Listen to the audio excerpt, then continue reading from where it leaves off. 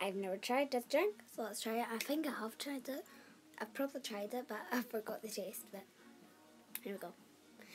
I've not drunk that. It just came at the bottle when I opened it. Oh.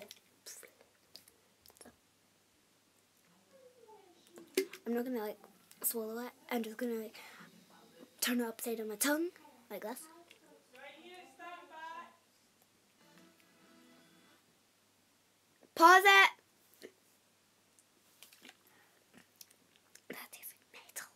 Just tastes like metal.